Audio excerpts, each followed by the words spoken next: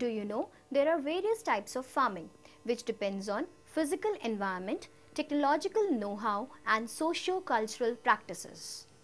Primitive subsistence farming. Under this, people practiced on small patches of land with tools like hoe, dao and digging sticks with family or community labor.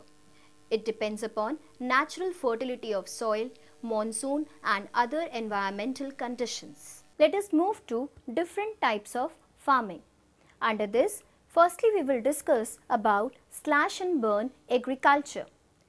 Clearing of natural vegetation by burning and used to produce cereals and other food crops. If soil fertility decreases, farmers shift to the other patch of land by performing same activity. Allows naturally to replenish the fertility of the soil. Avoid using natural fertilizers or other modern inputs.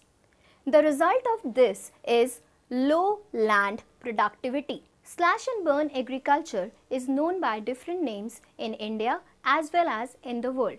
It is known as Jhumming in northeastern states and Pamalau in Manipur, Dipa in Bastar district of Chhattisgarh and Andaman and Nicobar Island, Bewar and Dahiya in Madhya Pradesh, Pama Dabi or Koman or Bringa in Odisha, Kumari in Western Ghat, Walere or Vatale in southeastern Rajasthan, Khil in the Himalayan belt and Kurwa in Jharkhand. The other method is intensive subsistence farming. It is a labor intensive farming practiced in area of high population, high amount of biochemical inputs and irrigation are required for high production.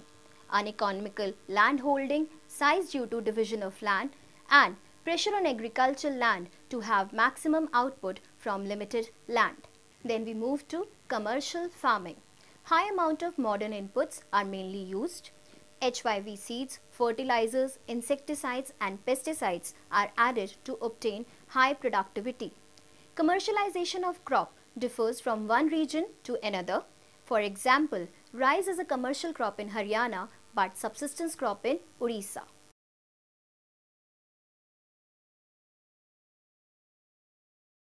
Plantation crops is one of the commercial farming methods.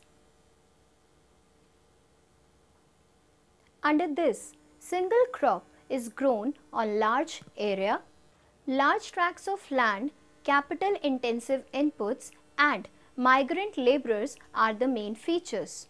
Its produce is used as raw material in respective industries.